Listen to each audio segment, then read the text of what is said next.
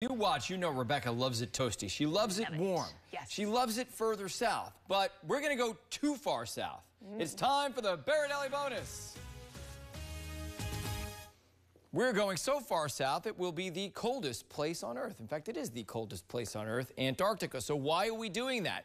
One of the reasons is I had this amazing shot sent to me. I'm going to step out of the picture. This is from a friend of mine, Erica Multan, who is the STEM director at St. Pete College. She was just on a, a research cruise down in Antarctica. And look at that beautiful landscape and look at that pancake-like cloud, lenticular clouds caused by the airflow over the mountains. So let's talk about Antarctica. And sea ice has been running very low. It should be right all the way out here where you see the orange. Instead, it's where you see the white. So we're missing a lot of ice. Now, sea ice was actually going up until 2014, counter to what our computer models said should be happening. But then it just kind of fell like a rock. It's been tanking ever since.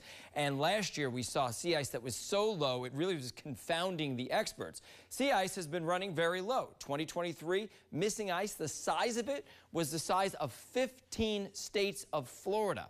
Uh, now, the reason why it's important is because it acts as Earth's refrigerator by reflecting sunlight back to space, keeping the Earth cool, and it also buffers glaciers, kind of acts as a fence, limiting sea level rise. And last, experts are saying this about it. They're saying it's unlike anything they have ever seen and it's far outside the bounds of normality. Although, to be fair, that's what people say about me.